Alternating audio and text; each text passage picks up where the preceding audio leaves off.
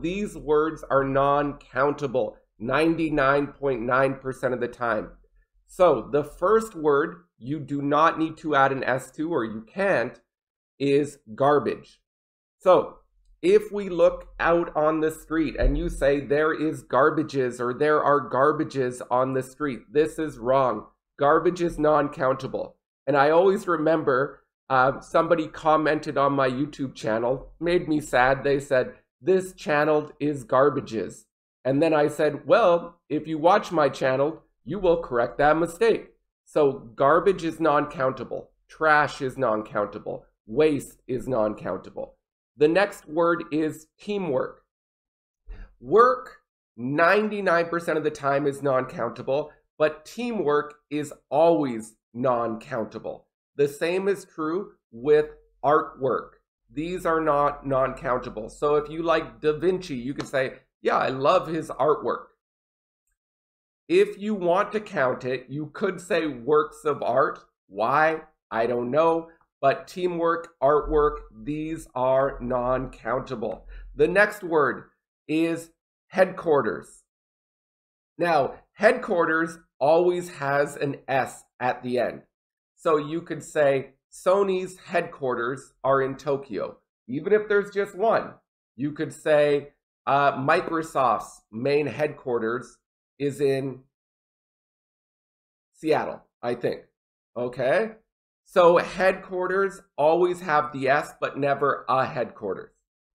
The next common mistake where people add an S is with spices and herbs like ginger, garlic, cilantro. Now, a lot of people might hate cilantro. I'm on the fence.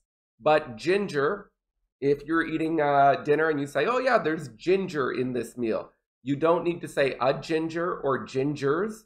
Ginger is non-countable. Garlic is non-countable. Cilantro is non-countable. Parsley is non-countable.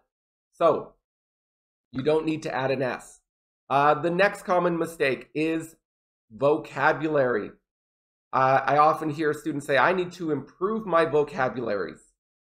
You don't need to put an S at the end of vocabulary. It is non-countable 99.9% of the time. The next one that is non-countable is slang. Once again, as a teacher, students say, I want to learn slangs. That's fine, I understand it, but if you want to sound fluent, get rid of the S. I want to learn slang.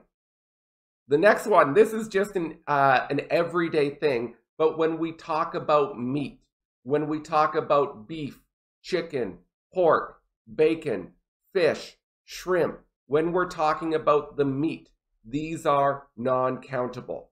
So you don't need to say, I like shrimps in my pasta. You can say, I like shrimp in my pasta. Or can we have bacons for breakfast? Wrong. Can we have bacon for breakfast. Number nine, or actually number eight, oxygen and air and most gases are non-countable. Helium, non-countable. Hydrogen, non-countable. Oxygen is non-countable. We breathe oxygen, not oxygens. And I'll do one more. It's nutrition. Nutrition. And if you say this food has many nutritions, that's wrong. This food has a great deal of nutrition, non-countable. If you want to count it, you can say nutrients. All right, so we looked at nine. Why not 10? Well, I was going to talk about technology, and usually technology is non-countable, but this is like a 95% thing.